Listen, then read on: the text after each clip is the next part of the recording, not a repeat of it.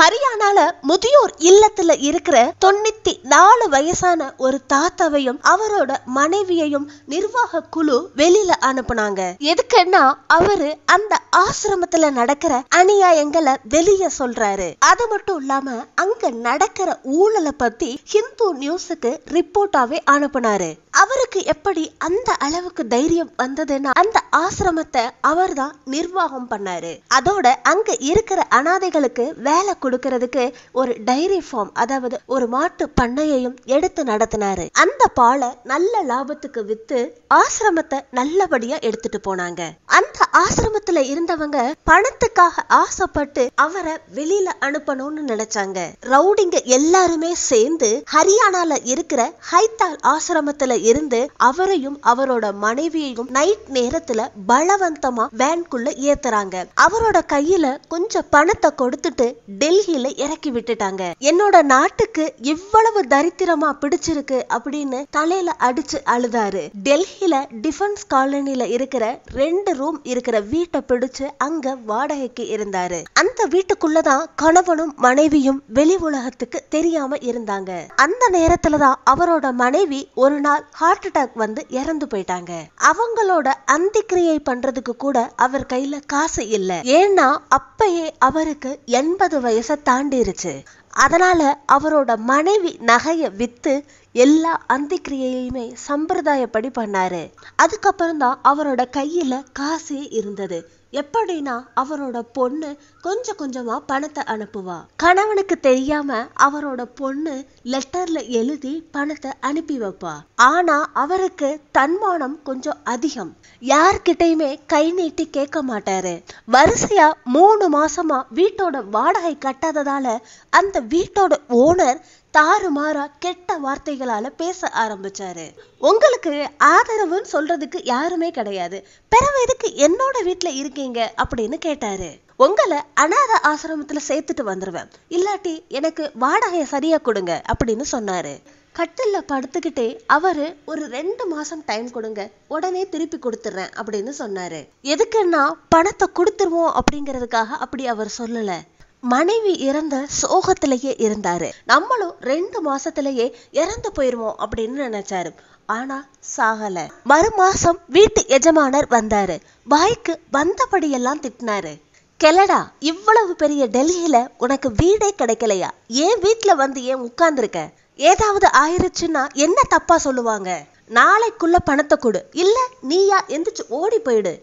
என்கிட்ட திட்டு வாங்கிறாத. நாலு மாசமா வாடகை கொடுக்கட்டாலும் பரவாயில்ல. இங்க இருந்து வெளியில போ. அப்படின்னு கோவமா திட்டினாரு. அவர் போனதுக்கு அப்புறமா அவரோட வீட்டுக்கு பக்கத்துல இருக்கிற ஹிந்துஸ்தான் ஜேர்னலிஸ்ட் அங்க என்ன நடக்குது அப்படின்னு வந்து பார்த்தாரு. அந்த வீட்டுக்காரன் வேலைக்காரன் கிட்ட சொல்லி எல்லா ஜாமானையுமே எடுத்து வெளியில போடுங்க அப்படின்னு சொன்னாரு. அதோட அந்த வயசானவரையும் ஏதாவது அனாத ஆசிரமத்துல சேர்த்து விடுங்க அப்படின்னு சொன்னாரு. ஆனா அவரு அந்த எஜமானிய திட்டினாரு. இத நீங்க வீட்டை காலி பண்றதுக்கு முன்னாடி சொல்லியிருக்கணும். சாமான எல்லாத்தையுமே வெளியில போட்டுட்டு இது என்ன வேலை அப்படின்னு ஜேர்னலிஸ்ட் திட்டினாரு. ஆனா வீட்டுக்குள்ள போய் அந்த வயசானவர் பக்கத்துல உட்கார்ந்தாரு அந்த ஜேர்னலிஸ்ட் அவரோட கையில காந்தி பொம்மை இருந்தது. ஒரு சின்ன பெட் நாலு ட்ரெஸ் ஒரு ஃபேனு கிச்சன்லயும் கரண்ட் ஸ்டவ் மட்டும்தான் இருந்தது. ரெண்டு கிண்ணும் ரெண்டு கிளாஸ் ரெண்டு பிளேட்டும் இருந்தது. புத்தகங்கள் மட்டும் செல் ஃபுல்லாவே இருந்தது.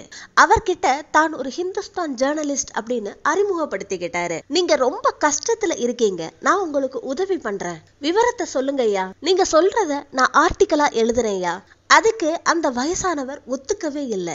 Just give me some time I will talk you later அப்படின்னு சொன்னாரு. நான் பேப்பர்ல ஹியூமன் இன்ட்ரெஸ்டட் ஸ்டோரிஸ் அப்படின்னு எழுதுறேன். உங்களோட வாழ்க்கை கதையை எழுதுறேன். நீங்க வயசுல பெரியவங்களா இருக்கீங்க. அவரை பத்தி கேட்டா கூட அந்த பெரியவர் கட்டிலேயே படுத்துக்கிட்டே இருந்தாரு. வெளியில நின்னு கத்துக்கிட்டு இருந்த எஜமானிய ஜேர்னலிஸ்ட் அனுப்புனாரு. நான் உங்களுக்கு மொத்த பணத்தையும் கொடுத்துட்றேன் இந்த வீட்டுக்கு நீங்க இவ்வளவு சீன் கிரியேட் பண்ணாதீங்க அப்படின்னு சொல்லிட்டு கையில ஒரு ஆயிரம் ரூபாயை கொடுத்து நாளைக்கு வாங்க அப்படின்னு சொல்லி அனுப்பி வச்சாரு. அவர் போனதுக்கு அப்புறமா உங்க பேர் என்ன சொல்லுங்க அப்படின்னு கேட்டப்ப கூட சொல்லல. ஆனா அவரோட செல்ஃப்ல இருக்கிற புத்தகங்களை பாக்குறப்போ அங்க ஒரு ஃபைல் இருந்தது. அந்த ஃபைலை ஓபன் பண்ணி பார்த்ததுக்கு அப்புறமா அந்த ஜேர்னலிஸ்ட் நடுநடுங்கிட்டாரு. அந்த ஃபைல்ல காந்தி ஜவஹர்லால் நேரு இந்திரா காந்தி லால் பகதூர் சாஸ்திரி இவங்க கூட எடுத்த போட்டோ இருந்தது. நேரு அன்போட அவருக்கு எழுதியிருந்த கடிதத்தை பார்த்து அந்த ஜேர்னலிஸ்டுக்கு மண்டையே குழம்பிருச்சு. ஏன்னா முதல் பக்கத்திலேயே டி ஆர் குல்ஜாரிலால் நந்தா அப்படின்னு எழுதியிருக்கத பார்த்துட்டு பக்கத்துல பெட்ல படுத்திருக்க அவரையும் பார்த்தாரு. அந்த போட்டோவெல்லாம் பார்த்துட்டு அவருக்கு ஷாக் ஆயிடுச்சு. நான் பார்த்துட்டு இருக்கிறது நிஜம்தானா? அதோட அந்த கட்டிலுக்கு பக்கத்துல இருந்த ஸ்டேட் பேங்க் ஆஃப் இந்தியா பாஸ்போர்ட்டையும் பார்த்தாரு. அதுல குல்ஜாரிலால் நந்தா அப்படின்னு எழுதியிருந்தது. அதுல பென்ஷனா மாசத்துக்கு ஐநூறு ரூபாய் வந்துகிட்டு இருந்தது. நாலு மாசமா பென்ஷன் வந்தாலும் அத பேங்க்ல இருந்து எடுத்துட்டு வர்றதுக்கு ஆள் இல்ல. உடனே அந்த ஜேர்னலிஸ்ட் ஆபீஸுக்கு ஃபோன் பண்ணி சீனியர் ஜேர்னலிஸ்ட் கிட்ட குல்ஜாரிலால் நந்தா எப்போ இறந்தாரு அப்படின்னு கேட்டாரு. நான் அவர் பக்கத்துல தான் இருக்கேன் அப்படின்னு சொல்லாம இந்த கேள்விய ஜேர்னலிஸ்ட் கேட்டாரு.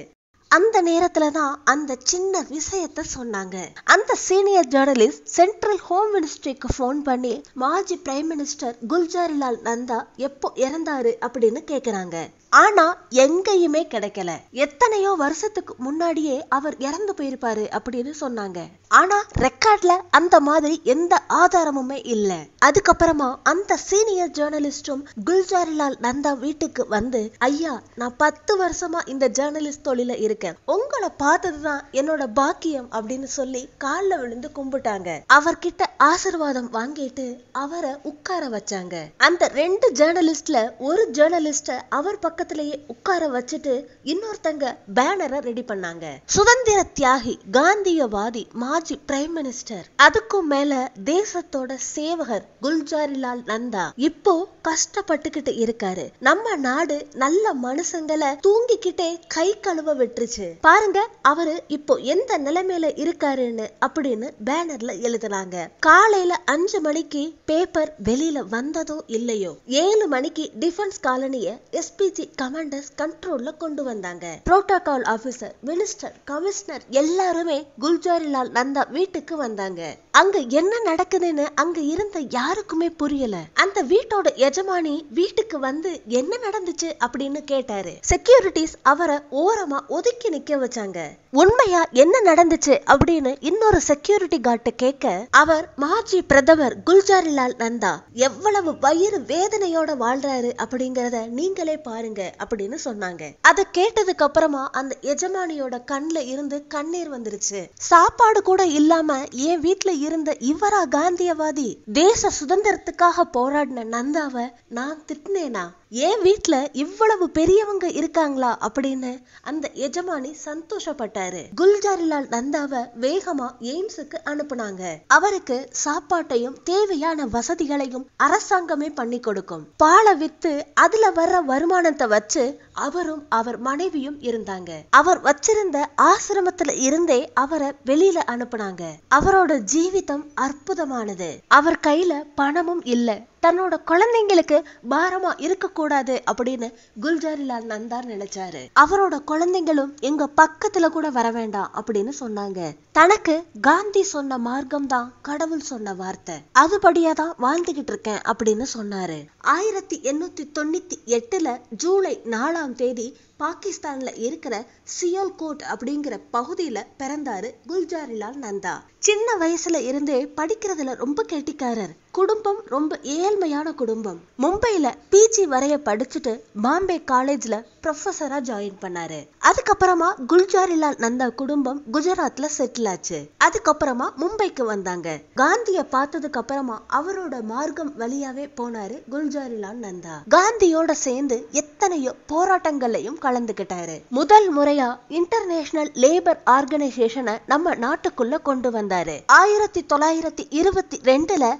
நேஷனல் டெக்ஸ்டைல் ஆர்கனைசேஷன்ல செக்ரட்டரியா இருந்தாரு. சுதந்திரம் வர்றதுக்கு முன்னாடியே பாம்பேல ரெண்டு தடவை எம்எல்ஏவா இருந்தாரு. பாம்பே மாகாணத்துல எம்பியா ஆகி ஹவுசிங் மினிஸ்டராவும் ஆனாரு. நிஜமாவே நேருவோட கேபினட்ல வலது கையா வேலை பார்த்தவர் தான் குல்ஜாரிலால் நந்தா. நேரு ஆயிரத்தி தொள்ளாயிரத்தி அறுபத்தி நாலுல இறந்ததுக்கு அப்புறமா பதிமூணு நாட்களுக்கு பிரதமரா இருந்தாரு. அதுக்கப்புறமா லால் பகதூர் சாஸ்திரி பிஎம்ஆ ஆனாரு. அப்போ ஹோம் மேட்ரியா வேலை பார்த்துட்டு சாஸ்திரி இறந்ததுக்கு அப்புறமா திருப்பி பதிமூணு நாளைக்கு பிரதமரா இருந்தாரு குல்ஜாரிலால் நந்தா. இந்திரா காந்திட்ட கூட மினிஸ்டரா வேலை பார்த்தாரு. இன்னொரு தடவை நீங்க பொறுப்பை ஏத்துக்கோங்க அப்படின்னு இந்திரா காந்தி சொன்னப்போ எனக்கு அரசியல் வாழ்க்கையில இருந்து விடுதலை வேணும் அப்படின்னு கேட்டாரு. எனக்கு வயசாயிருச்சு. வேற யாரையாவது நீங்க தலைவரா வச்சுக்கோங்க அப்படின்னு சொன்னாரு. அந்த நேரத்துல தான் அவரோட மனைவிக்கு உடம்பு சரியில்லாம போச்சு. ஆனா அந்த விஷயம் மீடியாக்கே தெரியல.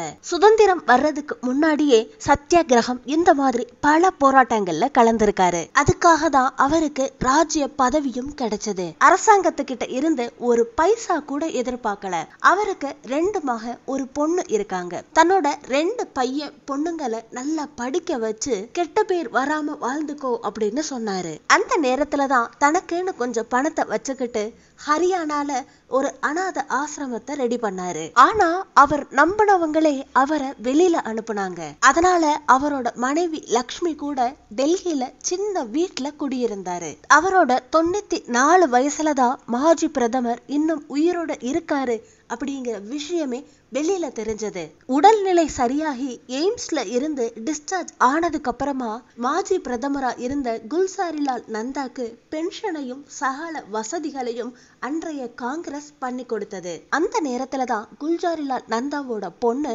அவரை அகமதாபாத்துக்கு கூட்டிட்டு போய் சாகர வரைக்கும் அவங்க பொண்ணு பக்கத்திலேயே இருந்தாங்க. அவருக்குன்னு ஒரு பைசா கூட அரசாங்கத்துக்கிட்ட இருந்து எதிர்பார்க்கல. தேசத்துக்கு பிரதமரா இருந்த குல் குல்ஜாரிலால் நந்தா ஒரு சின்ன வீட்டில் தான் இருந்தார். சரியா சொல்லணும்னா தொண்ணூத்தி ஒன்பது வயது பத்து மாசம் வரைய உயிரோட இருந்தாரு. உங்கள மாதிரி நல்லவங்களை இந்த பாரதம் இன்னும் ஞாபகம் வச்சுக்கணும் அப்படின்னு சொல்லி அவரோட தொண்ணூத்தி ஒன்பது வயசுல நம்ம இந்தியா அவருக்கு பாரத ரத்னா அவார்டை கொடுத்து கௌரவப்படுத்துச்சு. நீங்க இந்த அவார்டை வாங்குனீங்கன்னா அந்த விருதுக்கே பெருமையா இருக்கும் அப்படின்னு அரசாங்கம் சொன்னது. உண்மையான மனிதர்கள்னா இந்த மாதிரி இருக்கணும். ஆனா இன்னைக்கு கவுன்சிலர்ல இருந்து எம்பி வரைய எல்லாமே ஊழல்ல தான் போய்கிட்டு இருக்கு.